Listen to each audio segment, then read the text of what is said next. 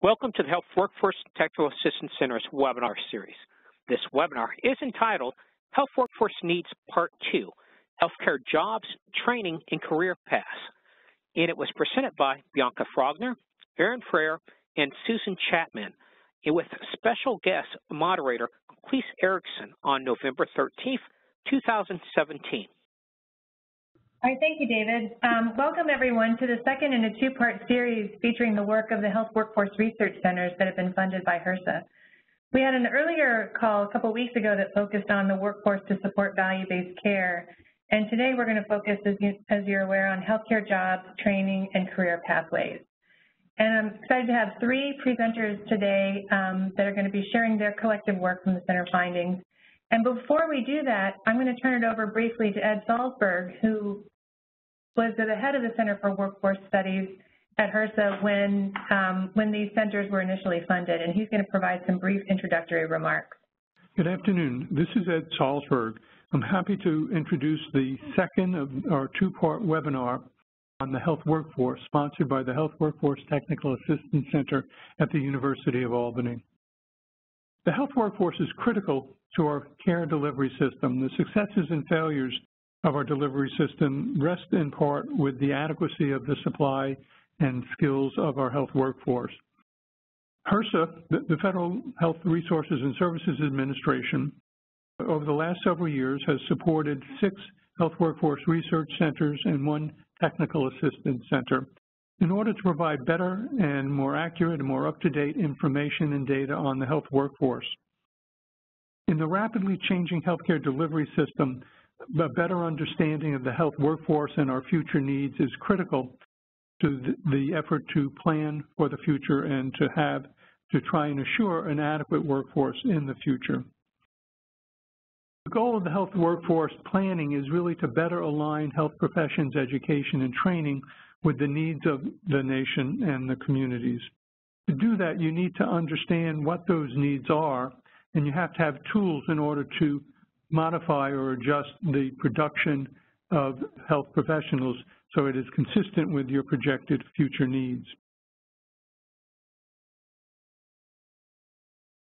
Thank you, Ed.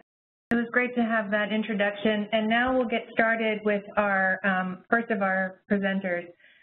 But today we're going to hear first from Bianca Frogner, who's the director of the Health Workforce Research Center at the University of Washington. And she's going to be talking today primarily about um, trends in allied health and low-skilled workforce. Hi, my name is Bianca Frogner. I'm the director of the University of Washington Center for Health Workforce Studies. Today I'm going to talk about the health workforce and the needs in this time of transformation. I'll be talking about who works in healthcare, a little bit about why we care, their career pathways, and touch on professional development. This work that I'll be presenting is conducted by a big team here at University of Washington at CHUSE, but very closely aligned with work done by Sue Skillman, the Deputy Director of CHUSE. So many of you are probably aware that healthcare has been growing fairly rapidly uh, in terms of both costs and jobs. Healthcare is one of the largest employers, employing about 11% of all workers uh, that is about 16 million people who work in hospitals, ambulatory care, and long-term care. Healthcare has been one of the largest contributors to new job growth, accounting for about 16% of all new jobs. Many people are coming from retail services, food services, education, and other professional services. As you see here up on the slide, I'm presenting uh, the 10 fastest growing jobs projected over the next 10 years. And what I circled here are the jobs that tend to be related especially to healthcare, but a couple you'll see are not circled here. It's the nurse practitioners and physical therapists. But what I'm trying to point out here is that among the 10 fastest growing jobs. Many of them are at the aide or assistant uh, level. So really it's the low-skilled jobs that are contributing to this fast growth. In general, we're expecting to see about a growth of 3 to 4 million new jobs over the next decade coming from healthcare. About half of those are are being driven by the Affordable Care Act, or at least that's what the earlier projections are predicting. And jobs that are not coming from the ACA, many of them are driven by job demand from the long-term care sector as exemplified by the types of jobs listed here on this slide, which include home health aides, physical therapy aides and assistants, and occupational uh, therapy aides and assistants. I'm going to turn to talk a little bit about who actually works in healthcare and what do they look like to give you a sense of a little bit more of a flavor of the healthcare workforce. So healthcare is a fairly diverse workforce where the racial and ethnic mix looks fairly similar to the general population with slightly higher representation from African Americans, but slightly lower representation from Hispanics. But over time, we're seeing a growing diversity both racially and ethnically uh, in our healthcare workforce. Here I show just a snippet of work that we did for the Health Resources and Services Administration to take a careful look at in what jobs people of different race and ethnicity are taking on over time and areas where we're seeing a decline of individuals. And I just picked two of our race and ethnicity groupings from our, one of our recent reports because it's worth noting a, a couple things that's happening um, among our minority populations. Among African Americans, you see that there has been a growth of African Americans in some therapy jobs and technician jobs. Massage therapist is one of those fairly low-skilled jobs where we're seeing uh, quite a bit of growth, but you do have some more jobs that might require a post-secondary education or slightly higher, uh, and seeing an increase of African Americans in these somewhat skilled jobs. But you do see a decline of African Americans in somewhat more highly skilled jobs, such as physician assistants.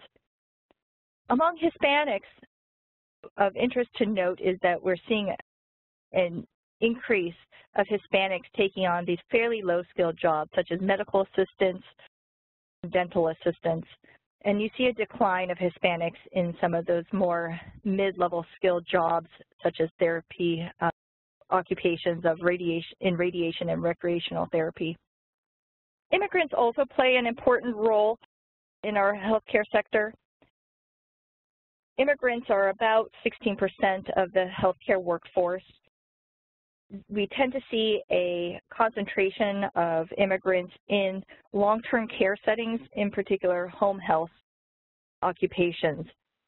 Here on this slide, we did a recent report breaking out immigrants who are naturalized citizens, so they were born um, outside of the U.S. but are now U.S. citizens, and then non-citizens, so people born outside the U.S.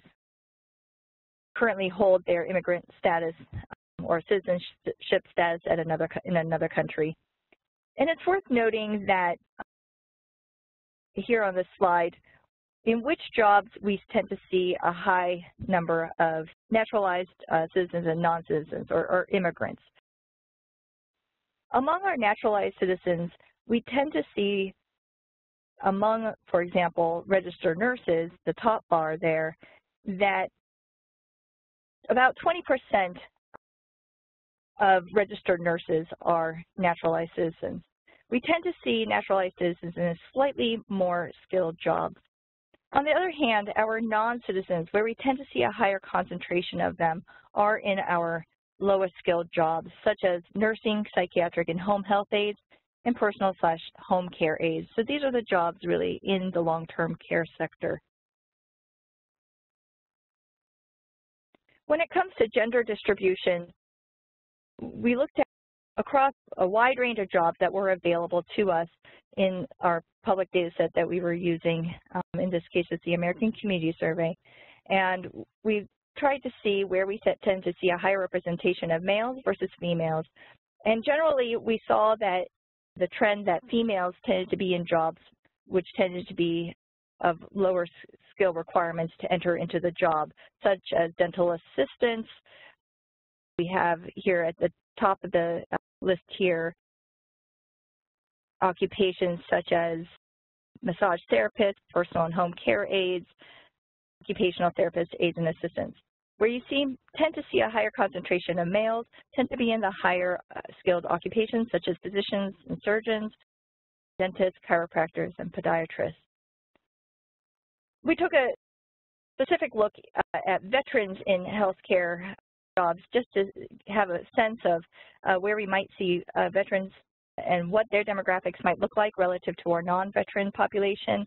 And in general, we saw that there was a higher percentage of men, uh, they were veterans, and we saw the same distribution as before where men tended to be in more higher skilled jobs. Now this was a real quick look at who works in healthcare and where we tend to see job growth. And what we like to point out uh, in summary is that there's a growth of jobs really occurring among the low-skilled jobs, many of which are concentrated in long-term care. The health workforce is female dominant with similar racial and ethnic and immigrant mix to the rest of the workforce with a heavy concentration of racial and ethnic minorities and immigrants in low-skilled jobs. So what our concern is, and worth further discussion, is whether this is good for the individuals in these healthcare jobs whether there's a career oppor ladder opportunity in the future or not, who is it uh, there for, and because some things that we did not point out is that many of these low-skilled jobs experience high levels of poverty, they rely heavily on state and federal assistance programs, and they have high levels of unemployment if they lose their job. And in, in an era when healthcare is changing uh, rapidly on a day-to-day -day basis, we need to start thinking about who is filling these jobs and what is their future in this industry. Thank you very much. Thank you, Bianca. It's, it's kind of exciting to hear some of these, the use of this, these data sources to shine a light on these workforce issues that sometimes haven't received the amount of attention that I think they deserve. Oh, I forgot to mention before um, Bianca's presentation, if anyone has any clarifying questions, please feel free to type those in the chat and direct them to all panelists so we can all see them. But now, um, in the interim, feel free to go ahead and chat now, and I can we can access them at the end. We'll have time for more group conversation, but we will take one clarifying question between presentations following each session if, if needed. But next we're going to turn to a presentation by Erin Fraher, from, Director of the Carolina Health Workforce Research Center. And she's going to be talking about some of the work that she's been doing, look at graduate medical education and um, how states are responding and what some of their needs are that she's been identifying as part of her research. Erin? This is Erin Fraher from the Carolina Health Workforce Research Center. And today I'm going to talk about one area of research that our center is engaged in, and that is developing a better understanding of graduate medical education. Our center really believes that through better data and research, we will have better policy. So I'm going to talk about those projects today. We basically have undertaken six projects, and I'm going to talk about three of our projects that we've already completed, listed there, and then three more projects that are in progress. And all of these projects, as I mentioned, are really aimed at different policymakers who I'll discuss to help them really have the data that they need for all sorts of different decisions that they're making in terms of GME investment. So let's start with the first study. The first study is a study on uh, really trying to say, okay, acknowledging by the work done by Fitzhugh-Mullan and, and others that there's really a maldistribution of dollars that are invested in graduate medical education across the country. Some areas have a lot, other areas do not. And so we actually used data from a physician projection model and said, okay, what if we used workforce data about where there are shortages, which specialties, which states have shortages, and we used the projection model to give us those data, and then we said, let's target GME expansions in those states. Where would we expand? And those findings suggest that we would expand GME in states with poor health outcomes and, and large growing populations, aging populations, no surprise Florida there, and then those places that have historically had less graduate medical education training dollars, fewer graduate medical education training dollars. And that would be out west, Idaho, Wyoming, Montana, Alaska, and Nevada. And we, so those were the states that, that the model said you would need to send um, graduate medical education dollars to. But we also looked at the specialties, and some of those specialties were ones that you'd expect in primary care, what we call the first certificate specialties in primary care, internal medicine, family medicine, general pediatrics. But cardiology as well received a large number of slots, and this is no surprise due to the aging population with a high incidence of cardiovascular disease. And one of the really important points we make in this study, and this was published in the Journal um, in Health Services Research, and we say, look, data are great, but you're still going to need experts to be able to interpret those findings. And, and so if, even if you have data, you'll want to have some sort of governance body that would use those data to actually figure out which states and specialties you should target graduate medical education to. So if you're interested in that that study, you can pull that up in health services research. The second study that we're really excited about that I just presented at a National Academy of Medicine workshop about two weeks ago in early October was really uh, trying to figure out what's happening in the states. There's been a lot of focus on graduate medical education at the national level, a lot of debate, a lot of really important policy discussion. But we believed that states were actually very interesting policy laboratories to look at what they were doing to really reform graduate medical education. And one of the things that we saw, which was the discussion of this National Academy of Medicine conference was states really want data. They really want measures and metrics that they can figure out where should we target our state funding.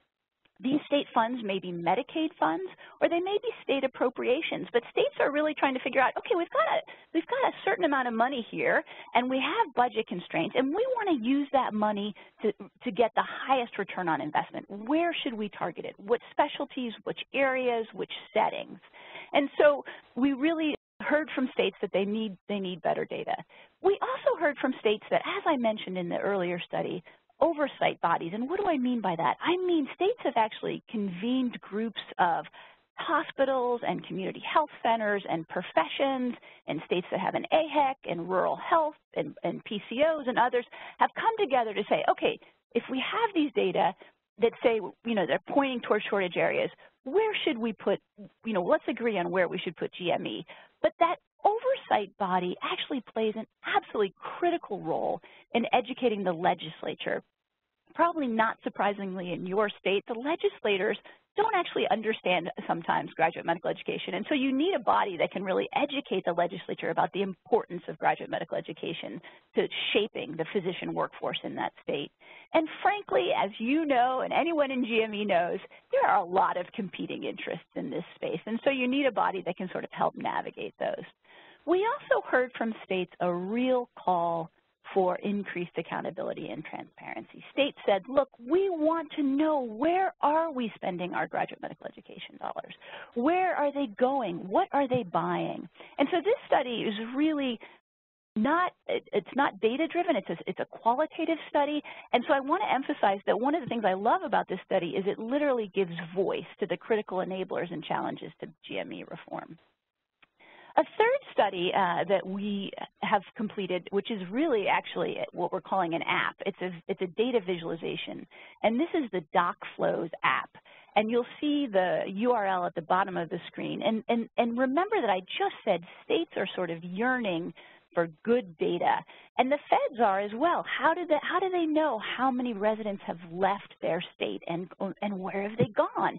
And this app actually gives you the ability to query and download data and share maps that actually show where did your residents in internal medicine go?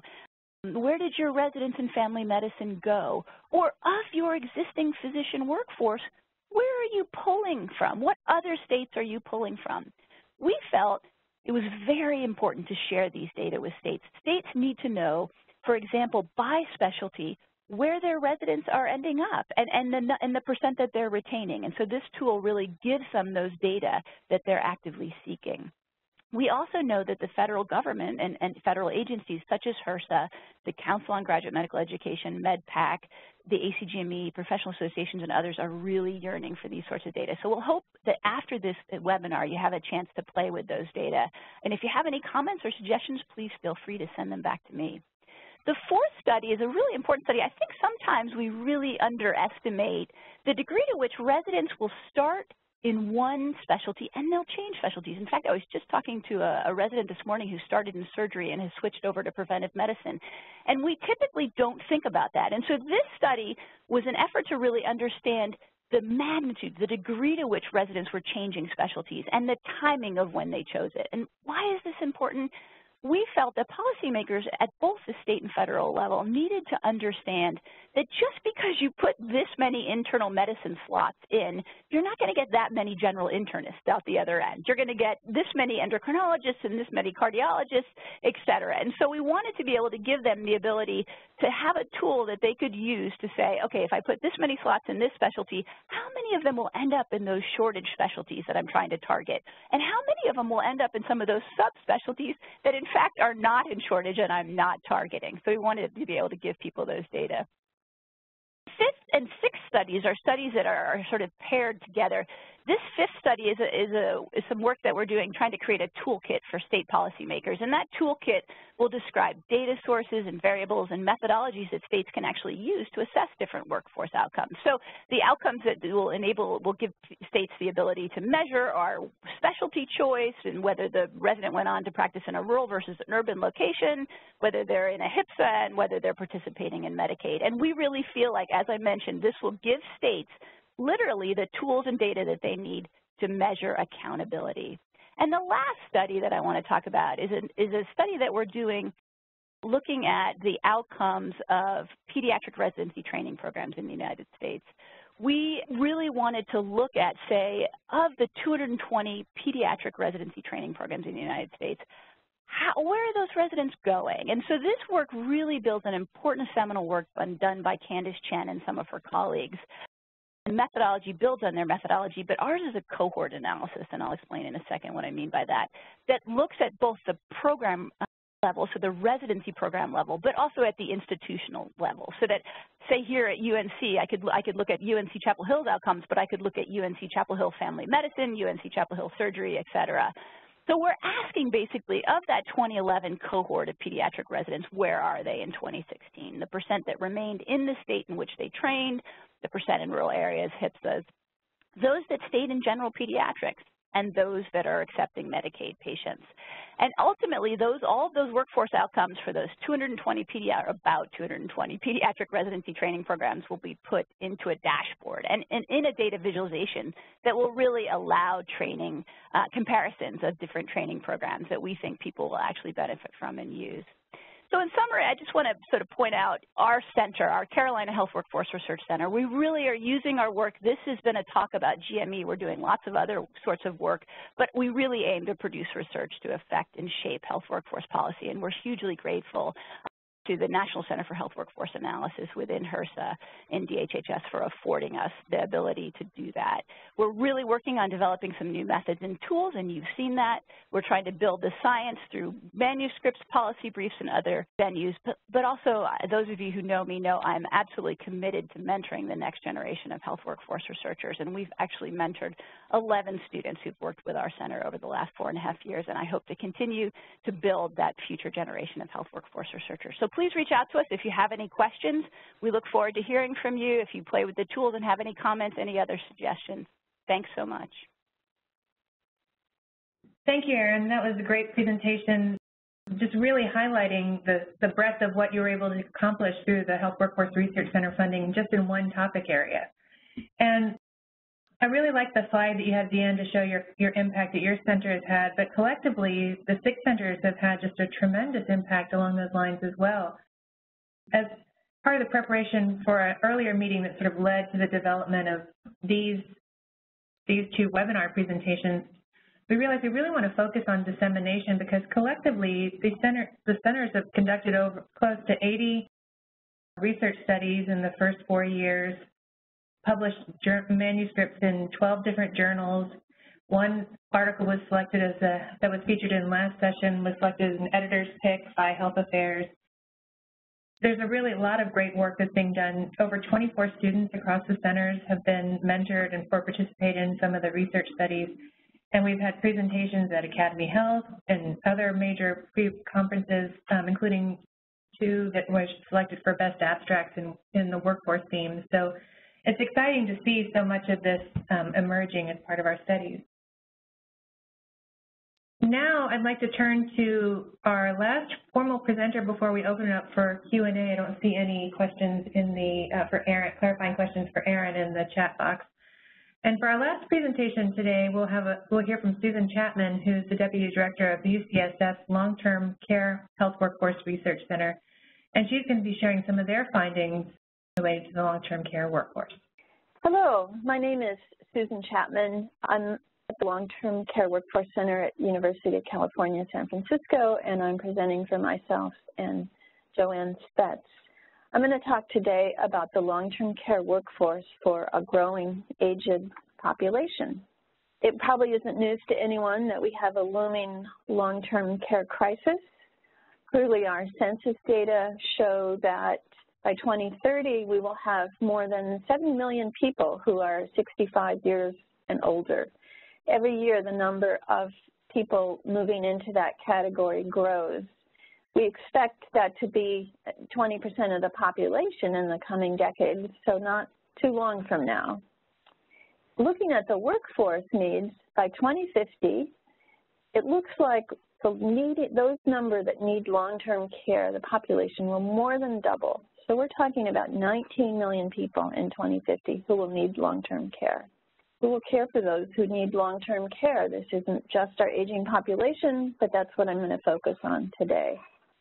An IOM report from 2008 projected that we need 3.5 million additional workers by 2030. So that's coming up soon.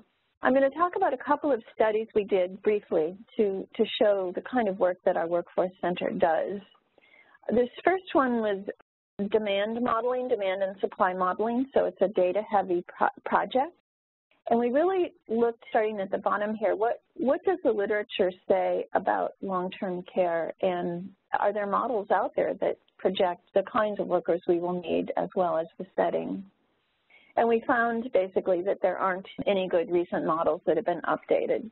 So we, we put together our own study looking at four types of long-term care services, including uh, care at home, care in nursing homes, care in adult health. And then what, how would that population increase as we look at projections in the future, and then how would the workforce increase? Using those data. So we also looked at, you know, are changing demographics in the in the country going to change that need? We know that people from different races and ethnicities, and as well as gender, might change the dynamics of long-term care demand. So our punchline is there at the top. Our, our final conclusion is that at the end of this, no matter how you change the, the composition of the demographics, this does not change our workforce needs. A little bit more about this study. We, and this speaks to the kind of data sets available to do these kinds of projections. As I said, we did not find a study where this was already completed, but we looked at a number of, of kinds of data sets. The National Health and Aging Trends Survey, which is called NHATS, and we chose some data from 2011. This was a report we did in 2015, so as you can see, there's always a data lag in, in these kinds of studies. We also looked at what's called MEPS, the Medical Expenditure Panel Survey, and the Home Health Services section to get a ratio of users to population. We looked at the National Study of Long-Term Care Providers from 2013 to look specifically at adult daycare center clients in the population.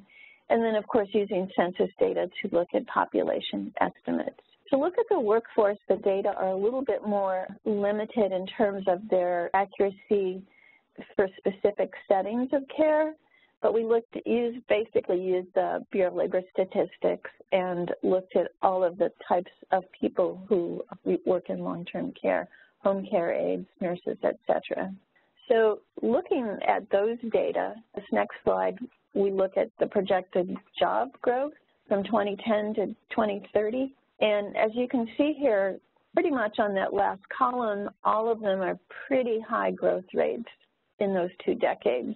That includes, and then we have the number of jobs projected by those data. And, and this is everyone in long-term care, the professionals from RNs, LPNs, social workers, occupations such as nursing assistants, certified nursing assistants, home health aides, and personal care aides, HHA, PCA, as well as the folks who do food prep and surveying and office and administrative support, support buildings and ground maintenance as well as, as management. So all of these jobs in long-term care will be growing in the coming decades. That's one type of study where one would look at, you know, how do we project the workforce demand in the future. The second study was looking at those PCAs, those personal care aides, and the training standards and what kind of training is, is required. These workers are also sometimes called home care workers. An important distinction is that these are different than home health workers. Home health workers provide intermittent health care. Home care workers provide more supportive services such as support for activities of daily living, bathing, dressing, transferring, et cetera. In partnership with PHI, we researched the regulations in all 50 states regarding training requirements for PCAs. First, let me say that on the federal level, there are no training requirements for these positions. How we did this search was looking at state administrative codes, we looked at licensing laws, all the Medicaid provider manuals, manuals from the Medicaid waiver documents, and then we did some qualitative, the, the investigators on the study rated each state along a number of factors, including, you know, what is the curriculum, how rigorous is it, how many hours, how uniform is the training across states. Kind of our bottom line finding in that is that we found seven leader states. That was one of our goals to kind of identify states that seem to be ahead in this process. So we found seven states that we said had both consistency and rigor in their training. The next piece we did is to sort of consolidate our findings on this. What do we know about PCA training? Well, we found that 11 states, that's 23% of our states, have no, no formal training requirements for PCA. 18 states, 35%, did specify training hours. However, when we look at the amount of training, it was limited. Only five states had more than 40 hours of training. There were seven states that required that PCAs complete some other kind of certification, such as the, the certified nurse assistant. And we also found that 19 states have uniform training requirements across programs. And what I mean by that is across programs that use PCAs, such as for persons with a disability, persons with a, developmental disability, persons with a mental health disability, et cetera. So that was the good news on that. However, only four states specified what kind of curriculum PCAs needed to have. So that gets to, you know, what kind of competencies are we talking about and, and what's important there. So what are our long-term care policy findings overall? What are some of the workforce focus areas? One of the things we're looking at is scope of practice, which really, scope of practice can be limiting factor in terms of who does what, who supervises what, what can be done independently, as well as what's the supply, um, where, where are the supply limited because of scope of practice. We also look at state and federal requirements. We are seeing some movement towards specific requirements, such as dementia care, CMS as well as the states have started requiring very specific requirements of the health plans for dementia care. So that brings in a whole new realm of, of training and specialists. Workforce sustainability is another issue across the long-term care workforce. Many of the entry-level workers uh, have very low wages, live in poverty, do not have health care benefits themselves, and lack career growth opportunities this has implications for quality of care delivered as, as well as turnover. And then, of course, looking at funding models and payment such as how are we looking at reimbursement issues for complex care, care coordination, the kinds of things that haven't been reimbursed separately before. How can we look at how those changes improve or, or assist care coordination and provide incentives for such. In the face of this, we're also looking at budget threats to long-term care supports and services from the federal and state level. So that's a summary of a couple of studies that our center is doing and some of the big picture workforce policy issues in long-term care. Thank you for your time. Thank you, Susan. It's really great to see so much attention and, and analysis directed towards understanding our long-term care workforce needs too. And generally seeing so many uh, federal data sets that are, that are out there being mined um, for that purpose, just like we saw earlier with Bianca's presentation. So speaking of Bianca, I guess I'll not, I don't see any clarifying questions in the chat box or actually any questions for our panelists in the chat box yet, but as a reminder, if you do have a question, please post it in there and um, direct it towards all panelists so we can see the questions as they come through. But I'll go ahead and get the conversation started, and I'll, I'll direct my first question to you, Bianca. I was really struck in the research that um, you presented in the, you just made a comment at the end, but I remember this from earlier when we were talking about how many of the jobs that are growing and, and um, that we were focused on, the people are living in high poverty and have a high reliance on Medicaid and other public benefits. And I, I was just wondering, like, how can we get our, do you have any thoughts on how we can get our policy leaders engaged in solving some of those issues and challenges for our, our low-skill, um, low-wage workforce? Thank you, Clese. I appreciate the question. Yes, so you're right. We have another study that we conducted through uh, our HRSA funding to look at the socioeconomic status of our healthcare workers. Um, as we know, many times when we talk about the health workforce or healthcare generally, we talk about providing care to those who are underserved. I think what is less understood or known is that our healthcare workers themselves are a, a population that are struggling with uh, socioeconomic uh, challenges, including things like poverty and being uninsured. And it's slowly getting on the radar in a larger national conversation. I'm starting to see more reporters discuss uh, the challenges that long-term care workers in particular are facing, especially with a focus on home care aides.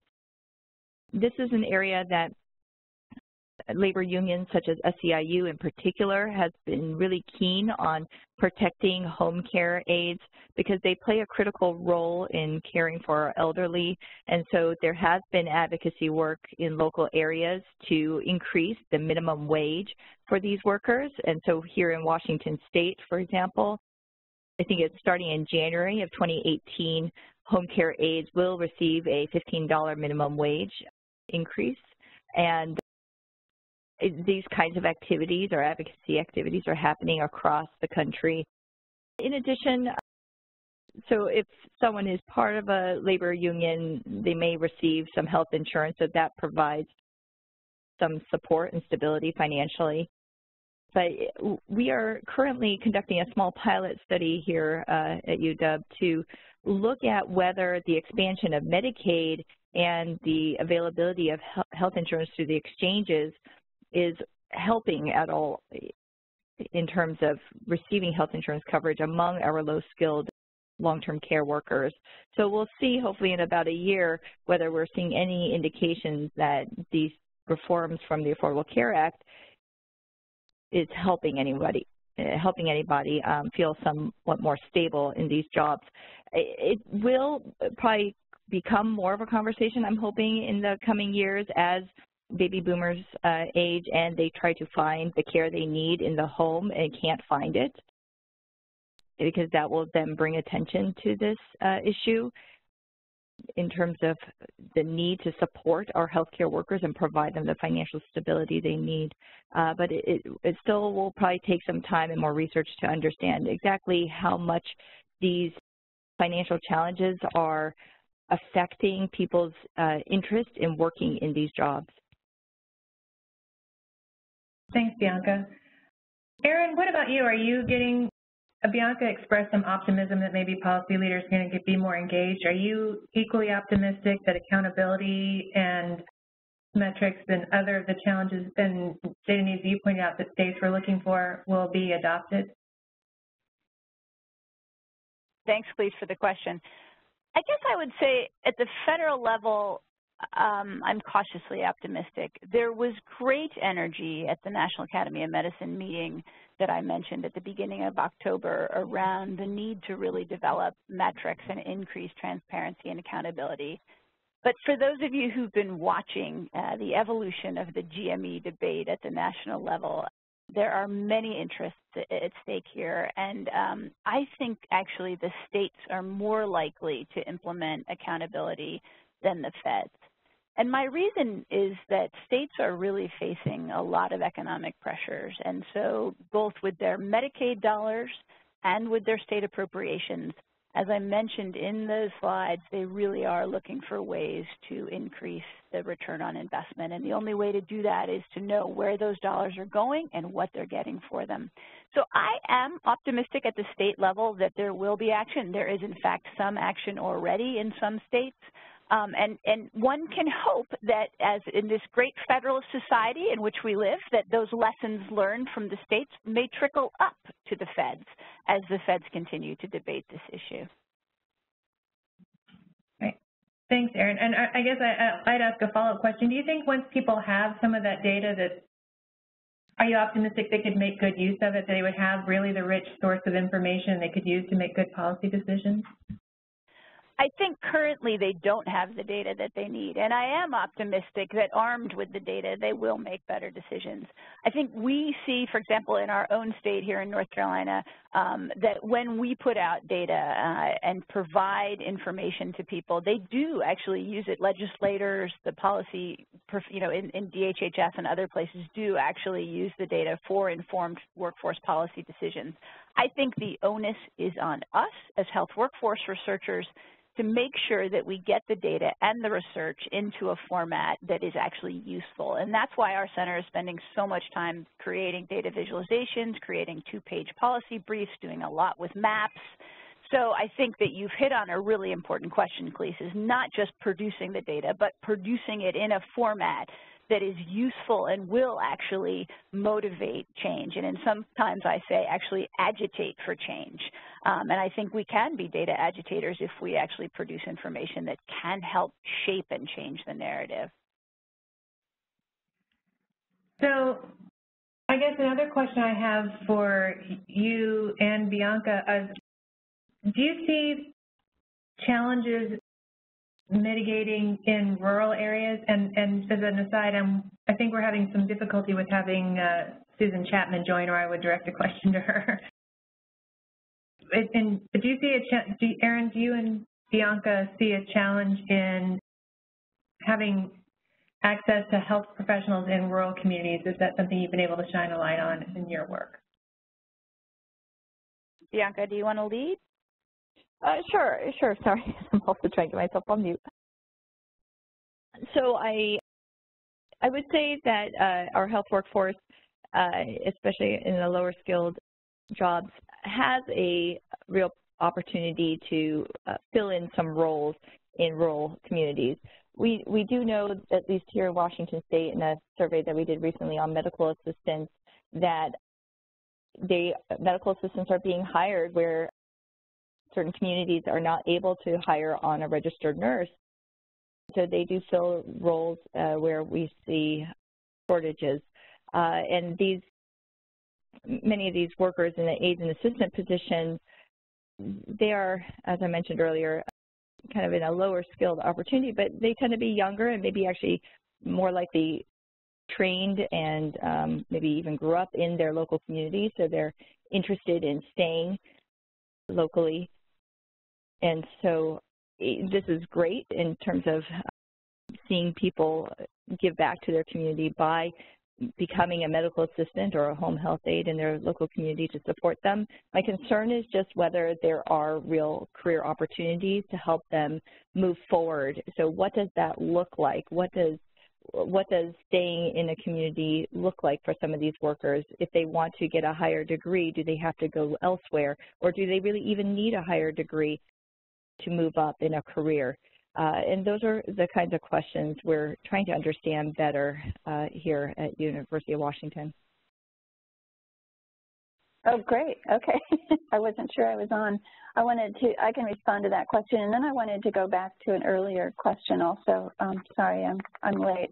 The issue about, you know, low paid workers and the sustainability, sustainability issues. Um, I think there are some, um, there's some sort of overall uh, social issues there as well as market issues and policy issues. The social issues are really about value and how people, what kind of work is valued, which is to, to, me speaks to sort of doing some multidisciplinary work about about value and the and the value of care, uh, because I think this care is not highly valued and and therefore, but you know, given the demand and the need, how do we kind of change that paradigm?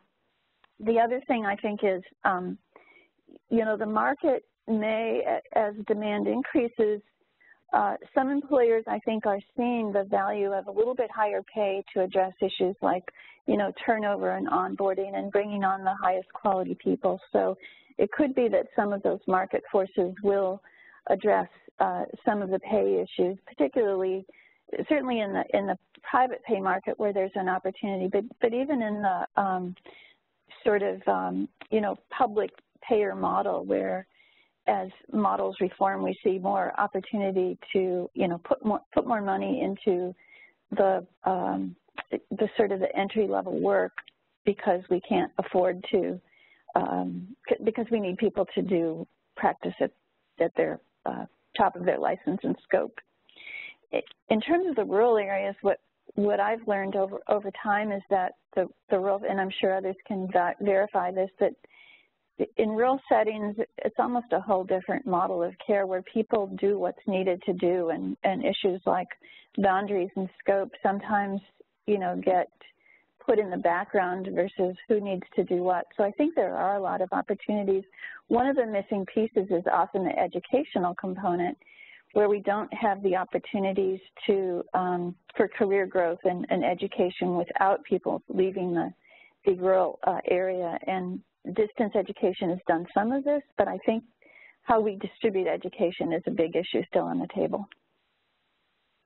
Susan, uh, Erin, I'll get to you on the rural issue, but I, I, I want to follow up with you on a comment that I, thought you triggered with me about um, engaging the public and getting and calling for change in, in, in the home health aide. I was at a presentation recently where they were talking about how um, anytime they present on the home health aide workforce, someone in the audience always comes up with a personal story about how they felt like it wasn't meeting their needs and that the workforce turned over a lot. And, and I wonder if there's a way we can, we collectively in the, in the research community can do a better job in making sure that our research gets out to the public community so that they, and we engage them and help them use their voice to help amplify our work. I don't know if that's something that you've been thinking about. Um, thought about it. I mean, part of it is, you know, a lot of our research isn't, we don't turn those briefs into a public, uh, sort of a public audience document. So that's one way to think about it. I mean, I can't imagine the public get, you know, sort of uh, being interested in, in the way that we present the data or, or what it says. So we kind of have to, to reframe it for a, for a public audience. And also, you know, anecdotes speak much more loudly than research does. And once people have poor experiences, um, that's kind of what sticks with them. So uh, are we going to engage that public with poor experiences as, as agents of change? Or, you know, how do we, uh, how do we kind of address those those um, those anecdotes and those and those experiences into positive change. And I think that is um, goes beyond our research in, in ways of you know um, I'm, I'm, thinking of nursing as a background you know so so image and and public relations and all kinds of and working with employers and those sorts of things that we tend not to think a lot about. Thank you, um, Erin. Sure. So I, I think what you're asking us in the initial question was around rural issues and the degree to which mm-hmm. our center is actually engaged in that. And, and I think this is near and dear to our center here. We're also uh, co-located with a, a, Office of Rural Health Policy Rural Center, um, as UW is. And, and what we notice continuously is, is sort of a national narrative that focuses on increasing the overall supply of doctors, nurses, dentists, you name it. And what we've really been trying to do is to shift that narrative and to do it with data. So using modeling and using our GME work to say, you know what, maybe the issue is not an issue of overall supply, and people love it. It gets newspaper attention. People love to yell about a shortage. But what we're trying to get people to, to realize is that these rural communities really are suffering, and there really are access issues, and really trying to shift the narrative more towards the maldistribution by geography, the maldistribution by specialty, the lack of primary care, psychiatry, general surgery, and the maldistribution by setting. And so these things are related, that we, uh, uh, we live in a world that has traditionally focused on training health professionals in hospitals. Increasingly, we need to be moving that outpatient.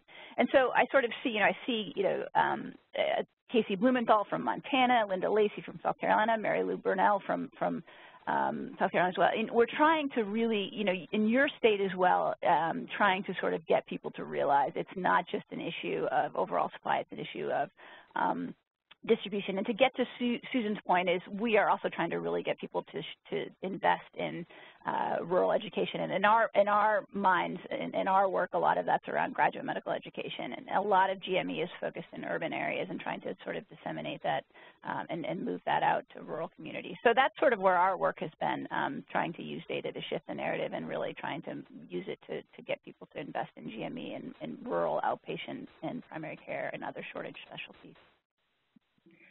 You happened to mention uh, Linda Lacy's name, and she actually just typed in a comment, um, which she said was following up to your idea of the idea of bringing in the public.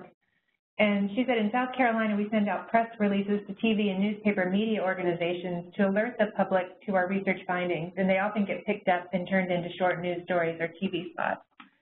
So it seems like there is maybe some potential there for um, thinking about that a little bit more. I know it's not something, an audience that I've typically thought about is targeting some of the work that I've been involved in towards, but perhaps they can be a, a champion for some of the other studies that we've been doing if we direct our attention that way.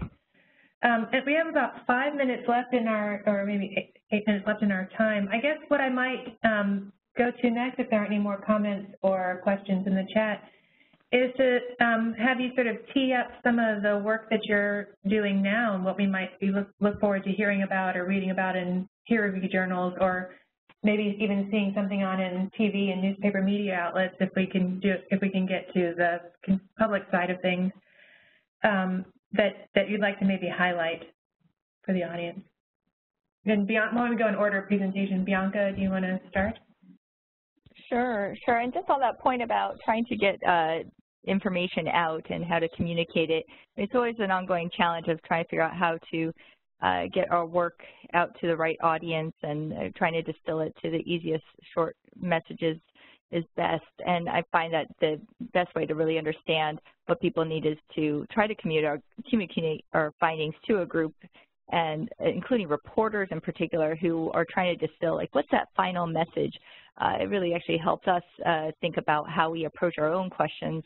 Uh, and just on that note, recently we uh, did uh, get picked up through Politico uh, in a discussion around immigrants and DACA, and uh, the reporter wanted to understand how DACA would potentially impact the workforce, uh, the healthcare workforce, and uh, he did a nice uh, spread on um, on the role of uh, immigrants in home care aide jobs. So I do recommend that you check that out because that's based on a lot of the work that we have been doing here at the center.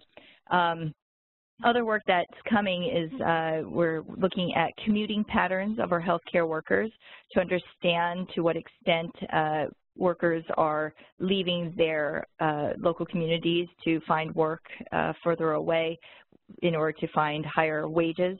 Uh, our concern is whether uh, that type of, whether commuting might be potentially um, might be potentially impacting the local community by drawing workers away in communities where they might actually need them. So we're just trying to get a sense of to what extent that might be happening. Uh, we have, uh, alluded to briefly, a survey about medical assistants here in Washington State, which is uh, the only state that's certifying medical assistants to understand what the role of certification um, does in terms of the kinds of activities medical assistants are being asked to do.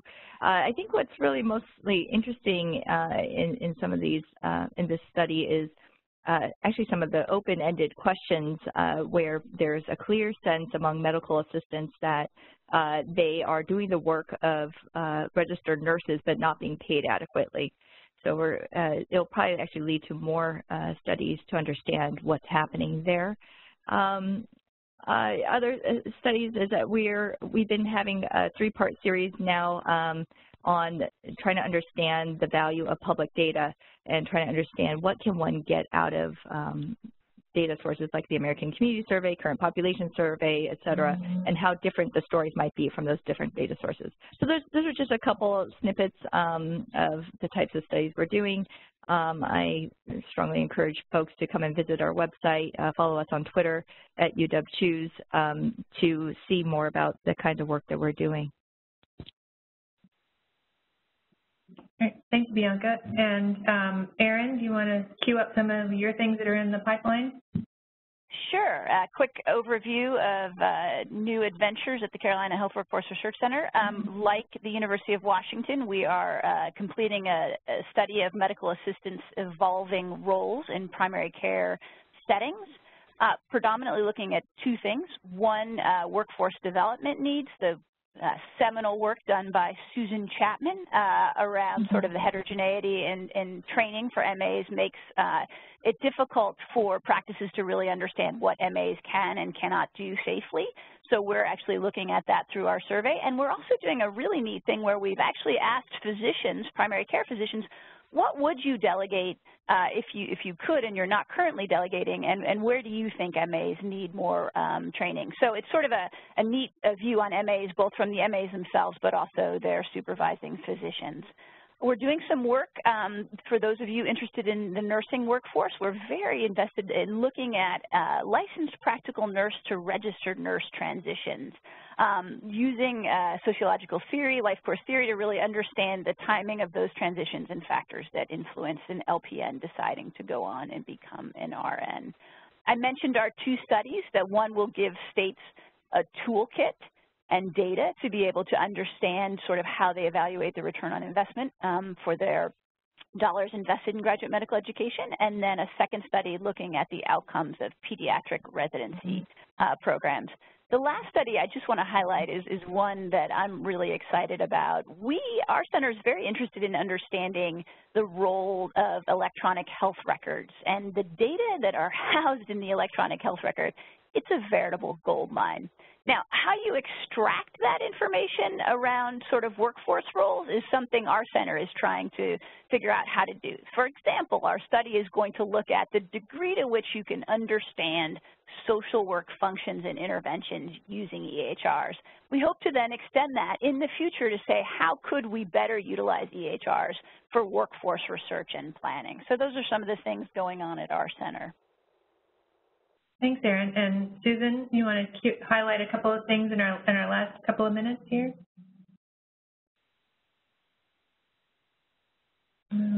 Sorry, I have to get off mute first. Um, I'll be quick. Um, a couple of them I'll just sort of talk about briefly. These are all still in the long-term care arena. One, we are looking at the role of social workers in long-term care.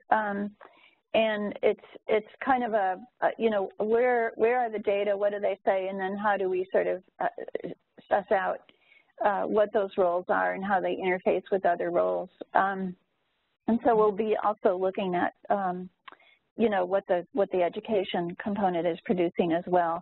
Another kind of special role we're looking at is geriatricians you know specially trained uh, uh, physicians in geriatrics uh, are a very uh, shrinking and small number of people, and so we're trying to uh, look at uh, what they do and where they work, and are they consultants, are they seeing patients, how do systems use them, how are they employed, et cetera. Um, and the third one is uh, we have done a couple of reports and are continuing to look at dementia care and the competencies and capabilities required for dementia care. This is something that has come down from CMS in contracts, et cetera, requiring capabilities and competencies, but not being very clear on what those are. So we're on our actually fourth project um, looking at various ways of, of looking at that.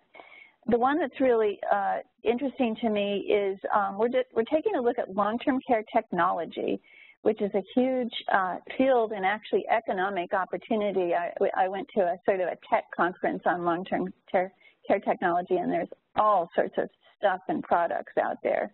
Our piece is going to be on what, how does that impact the workforce? Are we talking about things that assist the workforce, that potentially replace the workforce, that help with workforce communications, that perhaps help with workforce um, satisfaction and retention? So we're going to do, we're sort of in major data collection mode, look at everything that's out there. Then we're going to do a kind of a systematic um, taxonomy, uh, categorization of what's out there, and critically review that, and then follow up with some interviews at some of the uh, products, services, programs that have a direct impact on the workforce. Thank you, Susan. And thank you, Erin and Bianca, for your presentations. And thank you to the Albany Health Workforce Research Center Technical Assistance Group for hosting this event. I hope that we continue to have more of these in the future and that we can learn about the, the findings from the exciting work that was just mentioned today during this call at the end. And if you want more information about any of the studies, um, there was a report summarizing a lot of these findings that we prepared for the May 3rd meeting that sort of led to this further dissemination webinars. And that can be found at um, gwhwi.org. And it also includes links to all of the Health Workforce Research Centers so you can learn more about their, on, their past work and their ongoing work for the future. And with that, I want to um, wrap up two minutes late, sorry, but I um, appreciate everyone's involvement and the questions and comments we got and um, look forward to our next seminar. Thanks, bye-bye.